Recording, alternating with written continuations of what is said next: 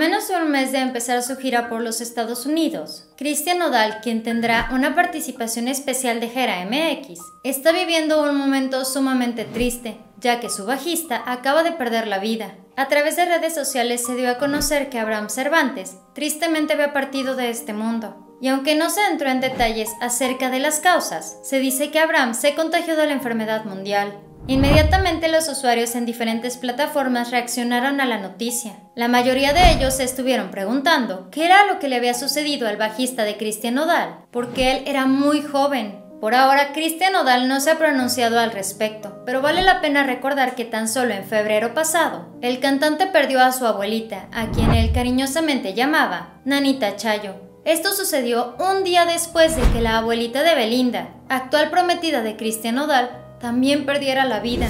La gira de Cristian Nodal por Estados Unidos está a la vuelta de la esquina, por lo cual el intérprete y su equipo no tendrán mucho tiempo para llorar la pérdida de su bajista Abraham Cervantes. Algunos fans de Cristian Nodal comenzaron a mandarle mensajes de pronta resignación y fue en este momento que se dieron cuenta que el intérprete ha dejado de publicar con cierta frecuencia. De acuerdo con información de las estrellas, Abraham Cervantes, músico originario de Los Mochis, Sinaloa, perdió la vida durante la noche del miércoles 18 de agosto. Quien también confirmó la pérdida de Abraham fue la tienda de instrumentos musicales Musical Chanel. A través de sus cuentas oficiales, aseguraron que el bajista dejó un gran legado musical escribiendo el siguiente mensaje.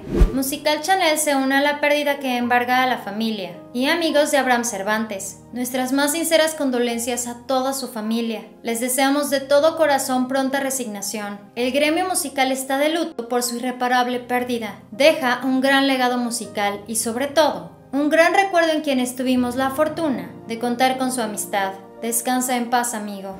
Antes de que Abraham Cervantes tocara junto con Cristian Nodal, el músico formaba parte del grupo llamado Los Silicianos. En este dejaba ver su enorme talento en el bajo sexto.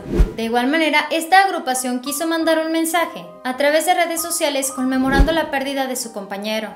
En esta publicación también incluyeron una fotografía del músico, el año pasado, así como en este año, hemos podido ver que la enfermedad mundial tristemente le ha quitado la vida a muchísimas personas. Por esta razón nosotros te seguimos pidiendo que por favor te cuides mucho. Aún hay que continuar siguiendo las medidas de seguridad, usando nuestro cubrebocas de manera correcta, mantener la sana distancia y si es posible quedarnos en casa. Tristemente esto todavía no se acaba, pero juntos a la distancia podremos superarlo.